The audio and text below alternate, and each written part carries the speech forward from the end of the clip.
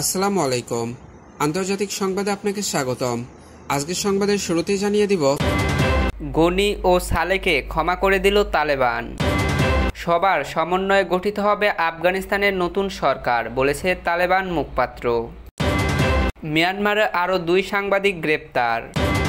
তালেবানরা ফারিয়াব নিমরোজ এবং গজনী প্রদেশে কয়েক ডজন রাজনৈতিক বন্দীকে মুক্তি দিয়েছে।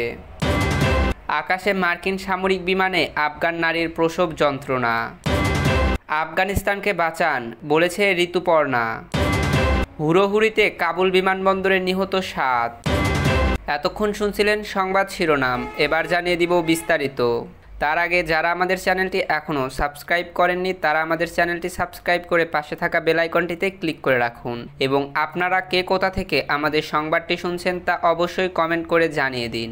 গনি ও সালেকে ক্ষমা করে দিল তালেবান। ক্ষমতাচ্যুত প্রেসিডেন্ট আশরাফ গনি ও ভাইস প্রেসিডেন্ট আমরুল্লাহ সালেকে ক্ষমা করে দিয়েছে তালেবান এবং বলেছে তারা ইচ্ছা করলে আফগানিস্তানে ফিরে আসতে পারে। জিও নিউজকে দেওয়া এক বিশেষ সাক্ষাৎকারে সিনিয়র তালেবান নেতা খলিলুর রহমান হাক্কানি বলেন, আশরাফ গনি, আমরুল্লাহ সালে এবং জাতীয় নিরাপত্তা উপদেষ্টা হামদুল্লাহ মুহিবের সাথে তালেবানের কোনো বিরোধ নেই। তিনি বলেন, আমরা আশরাফ গনি, আমরুল্লাহ সালে এবং হামদুল্লাহ মুহিবকে ক্ষমা করে দিয়েছি। তিনি আরও বলেন, তালেবানের সাথে তাদের বিরোধের একমাত্র ভিত্তি হলো ধর্ম। তিনি বলেন, আমাদের পক্ষ থেকে সবাই তাকে ক্ষমা করে দিয়েছে। হাক্কানি বলেন, যারা পালাচ্ছে তারা ঠিক করছে না। তাদের কারণে শত্রুরা প্রোপাগান্ডা চালাচ্ছে যে তালেবান তাদের উপর প্রতিশোধ নেবে।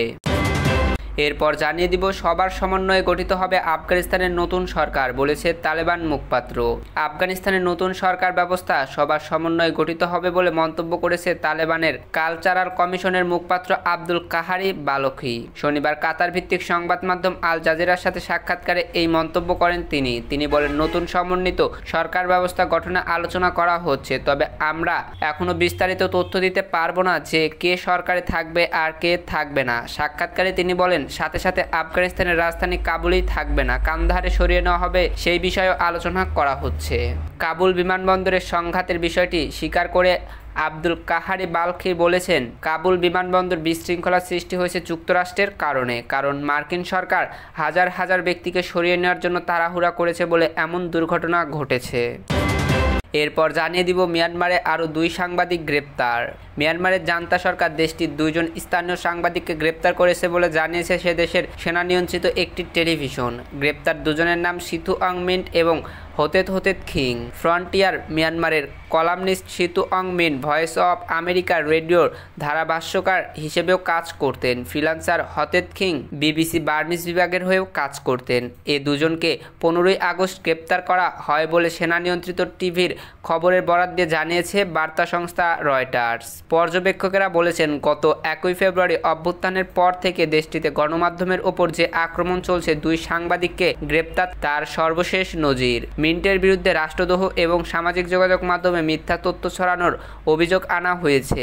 আর খিনকে ধরা হয়েছে মিনকে আশ্রয় দেওয়া এবং ছায়া জাতীয় ঐক্য সরকারকে সমর্থন ও তার হয়ে কাজ করার অভিযোগে।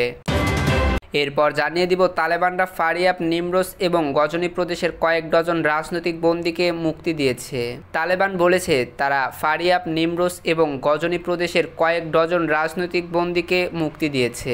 তালেবানের স্বঘোষিত মুখপাত্র কারি ইউসুফ আহমদি রবিবার টুইট করে জানান, ফারিয়াবের চারজন, নিমরোজের তিনজন এবং গজনীতে তিনজন রাজনৈতিক বন্দীকে মুক্তি দেওয়া হয়েছে এবং তাদের পরিবারের কাছে ফেরত পাঠানো হয়েছে। তিনি আরও বলেন, আমির আল মুমিনি হাফিজুল ডিক্রি অনুসারে চারজন রাজনৈতিক বন্দীকে ফারিয়া প্রদেশের সাধারণ কারাগার থেকে মুক্তি দেওয়া হয় এবং তাদের বাড়িতে পাঠানো হয়।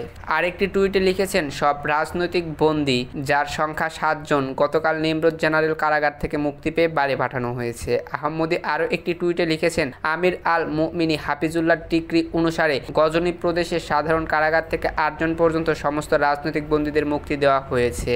তালেবান ইতিমধ্যে বেশ কয়েকটি প্রদেশ, বেশ কয়েকবার বন্দীকে মুক্ত করার ঘোষণা দিয়েছে এবং বলেছে এই প্রক্রিয়া চালিয়েই যাবে তারা। এরপর জানিয়ে দিব আকাশে মার্কিন সামরিক বিমানে আফগান নারীর প্রসব যন্ত্রণা।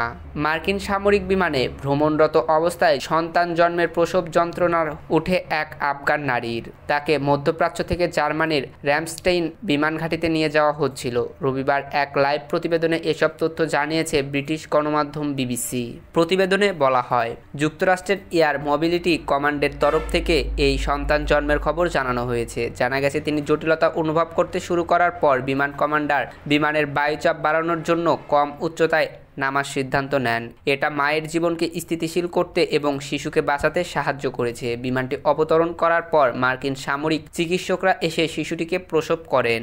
এদিকে আফগানিস্তানের কাবুল বিমানবন্দরের বাইরে ভিড়ে আরও সাতজন মারা গেছেন বলে জানিয়েছে যুক্তরাজ্যের প্রতিরক্ষা মন্ত্রণালয়। এক লাইভে প্রতিবেদনের রবিবার এসব জানিয়েছে বিবিসি। তালেবান জঙ্গিরা বিমানবন্দরের চারপাশে চেকপোস্ট পরিচালনা করেছে এবং ভ্রমণের কাগজপত্র ছাড়া আফগানদের প্রবেশে বাধা দিচ্ছে। এরপর জানিয়ে দিব, আফগানিস্তানকে বাঁচান, বলেছে ঋতুপর্ণা। ক্ষমতা হাতে পেয়ে আফগানিস্তানের রুক্ষ মাটিতে তাপিয়ে বেড়াচ্ছে তালেবানরা। কারও হাতে অত্যাধুনিক রাইফেল, কেউ রকেট লঞ্চার হাতে নিয়ে প্রকাশ্য রাস্তায় ঘুরে বেড়াচ্ছে। প্রাণ বাঁচানোর তাগিদে দিক বেদিক শূন্য হয়ে দৌড়াচ্ছে সাধারণ মানুষ। তারকাদের অবস্থাও এমন কিছু ভালো নয়। প্রাণ ভয়ে রাস্তায় দৌড়াতে দেখা গেছে আফগান পরিচালক সাহারা কারিমিকে। কোনো মতে প্লেনে করে দেশ ছেড়েছেন আফগানিস্তানের পপ তারকা আরিয়ানা সাইদ। অশান্ত এই পরিস্থিতিতে বিচলিত কলকাতার অভিনেত্রী ঋতুপর্ণা সেনগুপ্ত। সোশ্যাল মিডিয়ায় প্রতিবাদের হাতিয়ার হিসেবে বেছে নিয়েছেন ঋতুপর্ণা। ফেসবুকে, টুইটার ও ইনস্টাগ্রামে নিজের তিনটি সোশ্যাল মিডিয়ার প্রোফাইল ছবি পাল্টে ফেলেছেন তিনি। তার বদলে যে ছবি পোস্ট করেছেন তাতে লেখা আছে, আফগানিস্তানকে বাঁচান।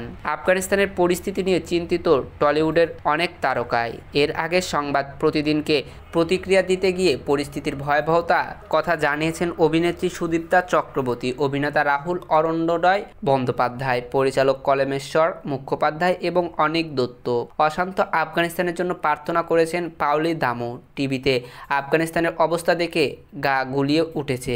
সংবাদ প্রতিদিনকে একান্ত সাক্ষাৎকার দিতে গিয়ে তিনি বলেন, এবার নিজের প্রোফাইল ছবি পাল্টে প্রতিবাদের পথ বেছে নিলেন ঋতুপর্ণা সেন গুপ্ত আঠারোই আগস্ট টুইটারে অভিনেত্রী লিখেছেন, চূড়ান্ত হতাশ আর হতবম্ব। প্রতিবাদের ভাষ্য জানা নেই। বিকৃত মনের মানুষগুলোর হাতে সবকিছু। কোথায় রাষ্ট্রসংঘ, নিরাপত্তা পরিষেবা, অদ্ভুত বিশ্বের রাজনীতি। সীমান্তের অবস্থাও হইচই। মনে হচ্ছে প্রাগৈতিহাসিক যুগে চলে গিয়েছি আমরা। এরপর জানিয়ে দিব, হুড়োহুড়িতে কাবুল বিমানবন্দরে নিহত সাত, আফগানিস্তানের কাবুল বিমানবন্দরে আতঙ্কিত অবস্থায় হুড়োহুড়িতে সাত আফগান নিহত হয়েছেন বলে জানিয়েছে ব্রিটিশ সেনাবাহিনী। ভিড়ের মধ্যে হুড়োহুড়ি ও পদদলিত হয়ে রোববার ওই সাতজনের মৃত্যু হয়েছে। তালেবানের সশস্ত্র গোষ্ঠী আফগানিস্তানের শাসন ক্ষমতা দখলের পর থেকে হাজার হাজার আফগান দেশ ছাড়তে মরিয়া হয়ে ওঠে। তারা যে কোনো উপায়ে কাবুল বিমানবন্দরে পৌঁছান। কাবুল বিমানবন্দরের নিষিদ্ধ জঙ্গি সংগঠন ইসলামিক স্টেটের আফগান শাখা হামলা চালাতে পারে বলে সতর্কতা বার্তা দিয়েছে যুক্তরাষ্ট্র। সেই হামলার আশঙ্কার কথার মধ্যেই হুড়োহুড়িতে এমন প্রাণহানির ঘটনা ঘটল।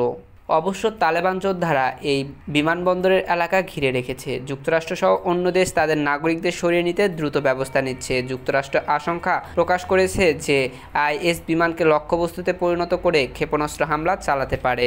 এজন্য দেশটি শনিবার নতুন একটি নিরাপত্তা সতর্কতা জারি করা হয়েছে বলেছে যুক্তরাষ্ট্রের নির্দেশনা ছাড়া যেন সে দেশের নাগরিক ব্যক্তিগতভাবে কাবুল বিমানবন্দরে প্রবেশ না করে। যুক্তরাষ্ট্র সেনাবাহিনী বরং দেশটির নাগরিকদের সঙ্গে যোগাযোগ করে বিমানবন্দরে আনার ব্যবস্থা করবে।